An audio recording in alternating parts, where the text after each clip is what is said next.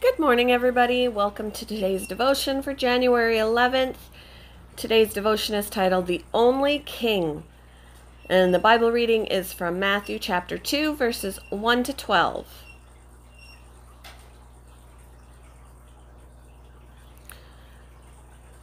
Jesus was born in Bethlehem in Judea during the reign of King Herod. About that time, wise men from eastern lands arrived in Jerusalem, asking, Where is the newborn King of the Jews? We saw his star as it rose, and we have come to worship him. King Herod was deeply disturbed when he heard this, as was everyone in Jerusalem.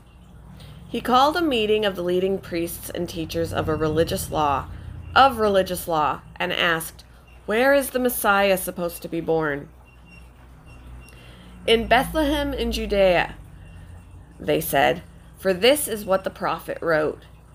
And you, O Bethlehem, in the land of Judah, are not least among the ruling cities of Judah. For a ruler will come from you who will be the shepherd for my people Israel. When Herod called for a private meeting with the wise men, and he learned from them the time when the first when the star first appeared, he told them, "Go to Bethlehem and search carefully for the child, and when you find him, come back and tell me, so that I can go and worship him too." After this interview, the wise men went their way, and the star that they had seen in the east guided them to Bethlehem. It went ahead of them and stopped over the place where the child was. When they saw the star, they were filled with joy. They entered the house and saw the child with his mother Mary, and they bowed down, bowed down and worshipped him. When they opened their treasure chests and gave him then they opened their treasure chests and gave him gifts of gold, frankincense, and myrrh. When it was time to leave, they returned to their own country by another route for God had warned them in a dream not to return to Herod.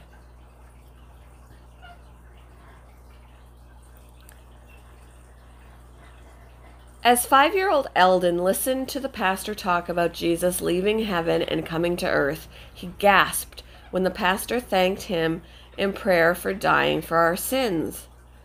Oh no, he died? The boy said in surprise. From the start of Christ's life on earth, there were people who wanted him dead. Wise men came to Jerusalem during the reign of King Herod, inquiring, Where is the one who has been born King of the Jews? We saw his star when it rose and have come to worship him. When the king heard this, he became fearful of one day losing his position in G- position to Jesus. So he sent soldiers to kill all of the boys 2 years old and younger around Bethlehem. But God protected his son and sent an angel to warn his parents to leave the area. They fled and he was saved. When Jesus completed his ministry, he was crucified for the sins of the world. The sign placed above his cross, though meant in, mo- though meant in mockery, read, This is Jesus, the King of the Jews. Yet three days later he rose in victory from the grave. After ascending to heaven, he sat down on the throne as King of kings and Lord of lords. The King died for our sins, yours, mine, and Eldon's.